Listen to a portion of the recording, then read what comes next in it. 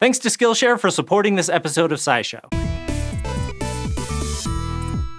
For researchers studying objects younger than 60,000 years or so, carbon dating is one of the most valuable tools out there. It involves analyzing the ratio of two kinds of carbon atoms, and with it, scientists have figured out the ages of everything from mummies to old manuscripts. Carbon dating has transformed fields like archaeology and paleontology, and it's helped us get a much better understanding of what the world was like thousands of years ago. The problem is, carbon dating might also be in danger thanks to fossil fuels of all things. The idea of carbon dating was first proposed in the 1940s, and it was important enough to win its discoverer a Nobel Prize. It relies on two kinds, or isotopes, of carbon, one called carbon 12 and another called carbon 14. Carbon 12, or C12 for short, is basically normal carbon. It has six protons and six neutrons, and it's stable, so it doesn't change and decay into different atoms over time. Carbon 14 is rarer, and it does decay. C14 has two extra neutrons, which makes it unstable. Over about 5,730 years, half of the atoms in any sample will turn into a more stable form of nitrogen.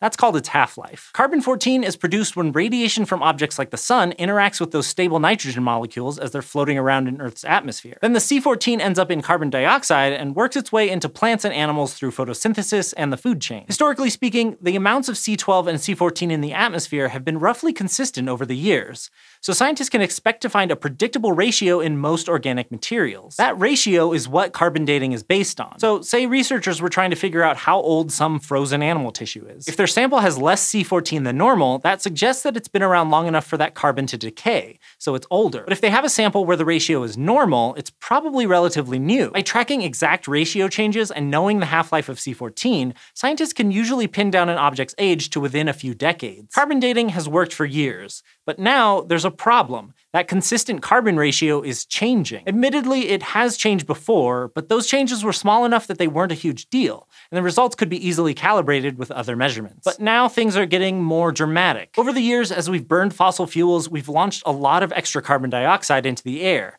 and since those fossil fuels are so old, almost all of their carbon 14 has decayed, which means we're adding a bunch of carbon 12 to the atmosphere, so much that it's really messing with the ratio that scientists use for carbon dating. Officially, this is called the Suess effect, after the scientists who first noticed this pattern in the 1950s, and it's not great news. According to one 2015 paper, if we keep burning fossil fuels at this rate, we'll add so much extra C12 to the atmosphere that new materials in 2050 will seem a thousand years old. There will be so much C12 in them that the amount of C14 will look tiny and decayed by comparison. And without an outside reference, it will be almost impossible to figure out how old they really are. Many groups are already working to reduce the rate at which we burn fossil fuels, and that's good for everyone, not just archaeologists. But we probably won't stop using them completely anytime soon. Thankfully, one researcher came up with a solution to help us sort through this mess, or at least it's a reliable way to tell if fossil fuels have skewed measurements. In a 2016 paper published in the journal Environmental Research Letters, he suggested we just look at a different isotope of carbon. Carbon 13, or C13, has just one extra neutron, and like carbon 14, it forms naturally, but it's pretty rare. Plants don't really store it, so there isn't much of it in fossil fuels or current living things, and it only makes up 1% of the Earth's atmosphere, so it's also getting overshadowed by all that extra C12 we're putting out there. But unlike carbon 14, C13 is stable.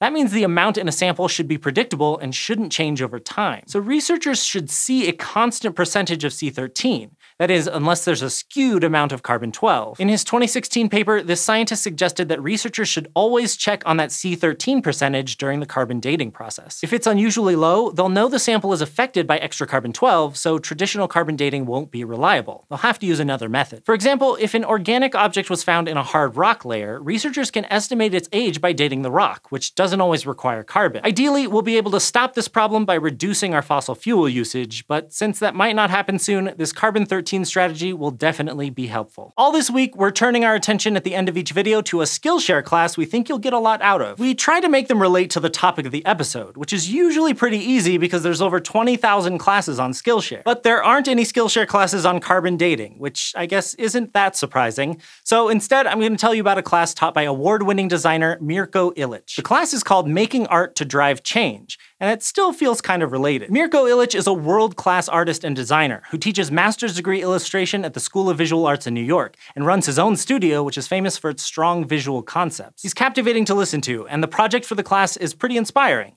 As he points out in the class, no matter what your background, everyone has something they're passionate about and can make art. Right now, Skillshare is offering SciShow viewers two months of access to all of their classes for free, so you could take a poster design class from an expert like this for free. Check it out as well as any other class you like by following the link in the description. Thanks for watching, and thank you for supporting SciShow.